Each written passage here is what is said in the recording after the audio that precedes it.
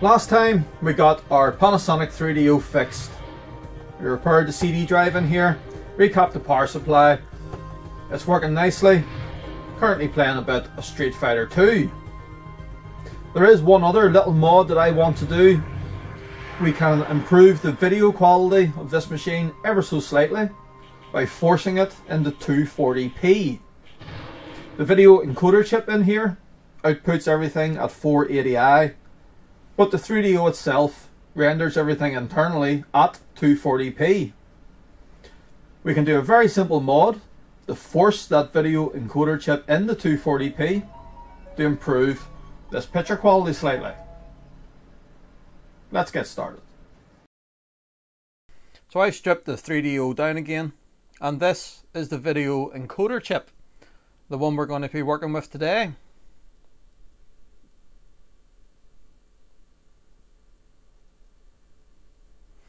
And what we need to do is lift pin 59. That's this one here, second in from the right.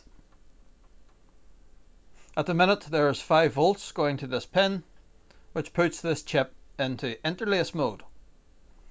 If we lift this and run ground to this pin, that will put the video chip into progressive mode, giving us our 240p output. Now we are going to put a switch in, probably mounted on the back of the console somewhere, so that we can vary between 5 volts and ground running to this. When this chip is in 240p progressive mode, the system can actually run a bit faster and a few games wind up broken because of that. The likes of Another World is one of those games in particular that just runs far too quick. So what we'll do is we will take 5 volts off this pad here. We will take ground off this via here. We'll run them up to a switch that we'll put at the back somewhere. And then we can switch this pin between ground and 5 volts. Right. I'm going to lift this pin off camera just because it's a bit delicate to do it. All, we'll, all we will be doing is heating the pin with the soldering iron and I'm going to use our little sharp knife, get that in behind the pin and try to edge it forward. I don't want to risk damaging anything here by trying to work around the camera. So let me do that and then we'll be back. So there's our pin lifted. I always hate doing that. You always run the risk that the pin will break off. Then we would be in serious trouble. I've cut three bits of wire to length here. So we're going to attach one to this pin. One to this pad here for 5, five volts and one to this via here for ground.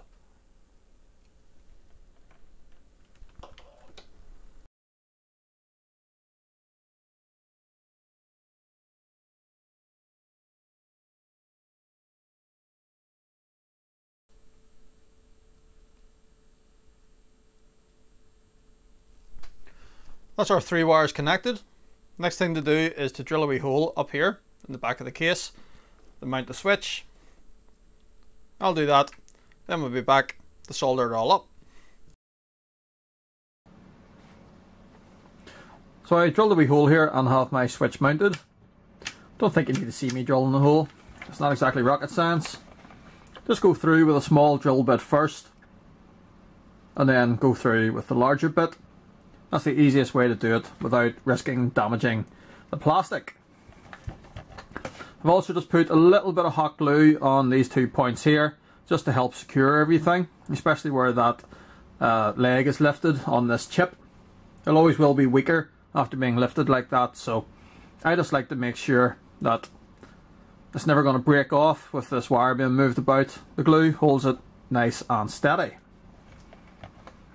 So this is the one going to the chip. We need to run this to the center leg on our switch. This is our 5 volt. I want the switch 5 volt that way, pointing towards the power supply. So we need to run that to this side of the switch. And then pointing away from the power supply, that will be ground. And this one needs to run to that side of the switch. Very simple.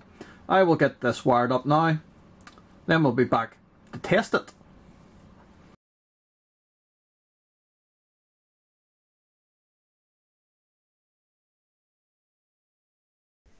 Sometimes when you're doing mods to these consoles, you learn your lessons the hard way.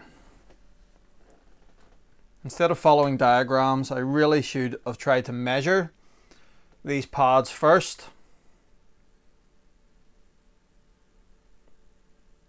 So where I thought we had attached the 5 volt to, well no, that was actually another ground. And because I had hot glued it, the only way to get that off was, well, to cut through the glue. And uh, unfortunately, in doing so, I managed to rip this part off. The only uh, the only relief we have with this is that this is an unused component. So while it is damaged, I suppose in the long term there's no real harm done. So I had said you need to connect to that side of this. That's wrong. It's that side. That is the 5 volt line. Not this one. What's that old saying? Measure twice, cut once. I suppose that applies to electronics as well.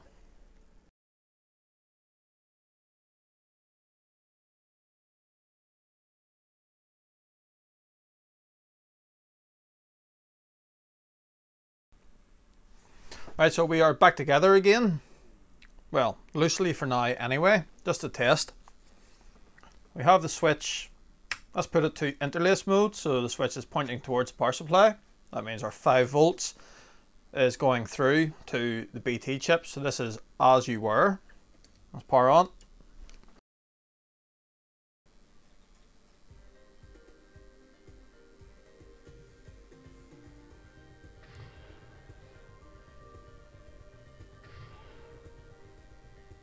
So everything seems to be working fine with the, switch at interlace mode.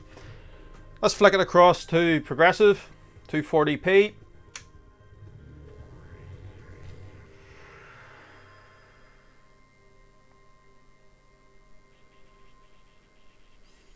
It is very hard to tell any difference now on a moving image like this, and especially through the camera. What we'll do in a minute though is I will do some direct capture from the 3DO and uh, we'll try to compare a few stills.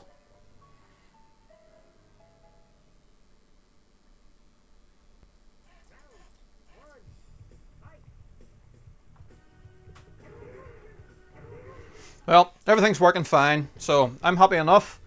I will uh, just power this off,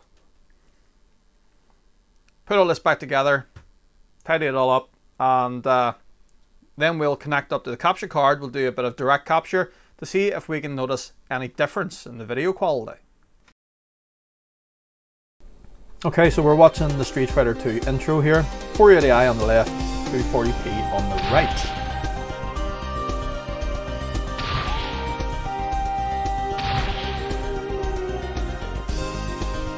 So let me just pause the video at this point.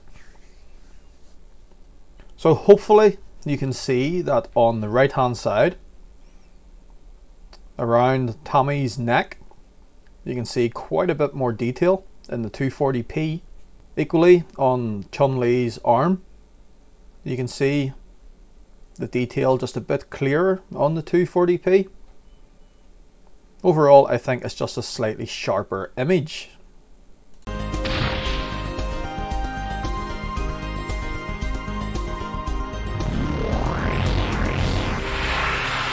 if I pause it here, just while Ryu is doing his fireball, you can see in his hair, the detail just looks a bit better, and on his arm, everything just looks that wee bit sharper.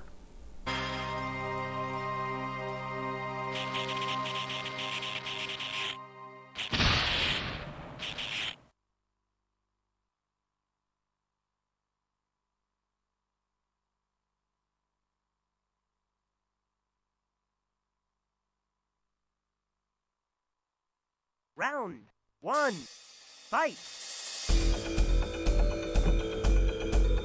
Pause it again here, just one more time. You can certainly see in the background the details are a lot sharper on the 240p, that bird thing in the middle. You can see a lot more detail on its wings. Equally the rock face in the background just looks a lot more detailed, a lot sharper on 240p. And even the characters themselves, just everything looks a lot sharper.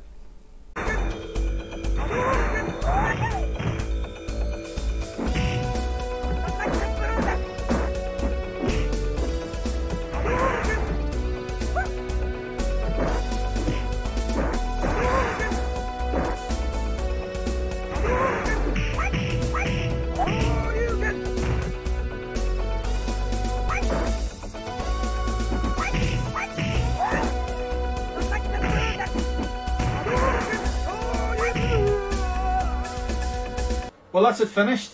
It does improve the picture quality slightly as we've seen in the close-up captures. Is it worth doing? Well, it is quite an easy mod after all if you connect everything up to the right pads. So I think personally yes, it's worth investing in. You can do an RGB mod on this console as well, albeit that is slightly more involved. There's quite a few wires to solder onto the board it's something I'll maybe look at doing in the future. But for now, I'm quite happy that I have my 3DO working in 240p. I had to play a bit of Street Fighter 2.